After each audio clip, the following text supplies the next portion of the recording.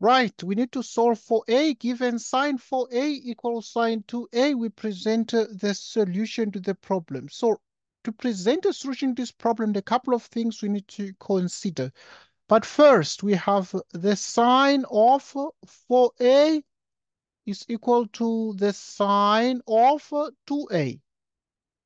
And uh, what is the meaning of this here? Right, so if this is the case, this means that 4a is equal to 2a plus multiples of the period 360 degrees by k, where k is an element of the set of integers. Okay, this is what we're able to achieve. Then what do we do next? What do we do next? Right, what we do next is to simplify these uh, exactly. So how do we simplify this? So 4a equals uh, 2a plus uh, 360 degrees by k, where k is in z. Right. This means uh, 2a is 360 degrees by k, where k is in z. Dividing both sides by 2, a equals 180 degrees by k, where k is an element of z. Right, with that said, or we have that the sine of 4a is equal to the sine of 2a. Okay, what is this? 4a is the same as what?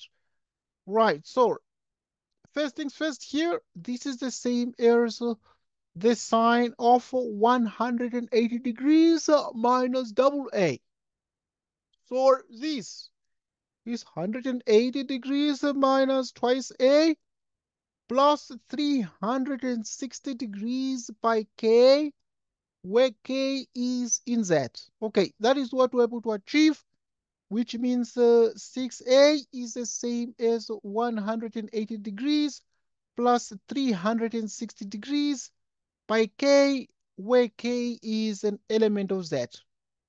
And so what is this? This is the same as uh, 6a is the same as uh, what? Is the same as 180 degrees plus uh, 360 degrees by k, where k is in z. So now we divide both left and right by 6, getting 30 degrees plus uh, uh, 60 degrees here by k, where k is in z.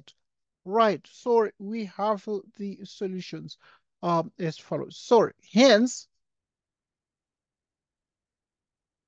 hence uh, if we have uh, the sine of 4a equals to the sine of 2a.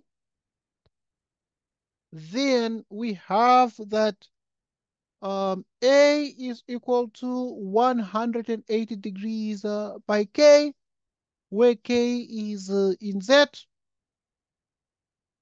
or a is equal to 30 degrees uh, plus 60 degrees uh, by k, where k is in z. So that becomes uh, the solution to the problem.